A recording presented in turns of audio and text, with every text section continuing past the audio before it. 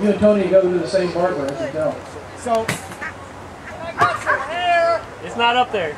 this has gone on too long, Say too again, long to be a prank. You think somebody Oh, stole it's it? it's Yeah, sure you do. it, it, And I got some, I got some it's a big property prank. in He's it's- taking it great, and It's gone on too long. I got though. this Elvis Presley concert ticket I can he's sell you getting it also. back. He doesn't seem It's like coming. when you don't dance very much anymore, but man, can that man rock. Oh, somebody, Mark Muir is a huge, huge Notre Dame fan.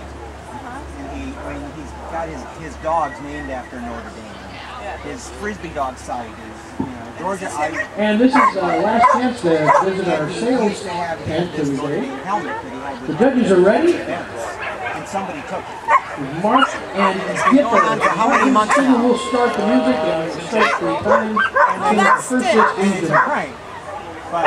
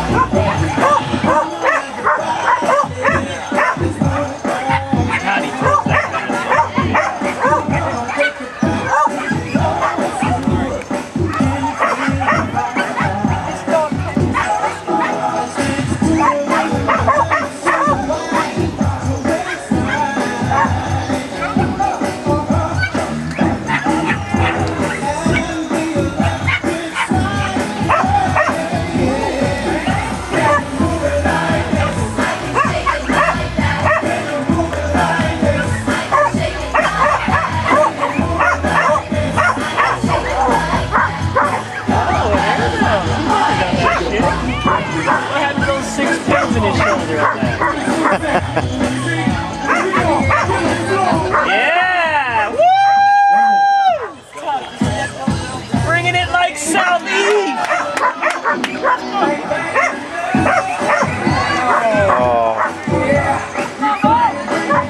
All right, big boy.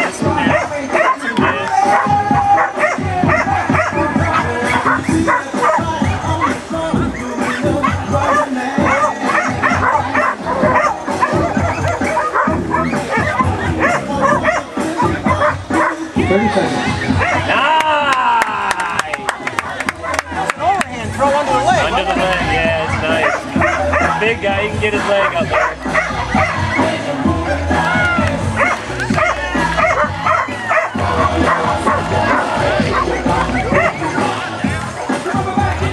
Ten, nine, eight, seven, six, five, four, three, hits it. two, one. Time. Mark Muir and Cooper. Local Georgia.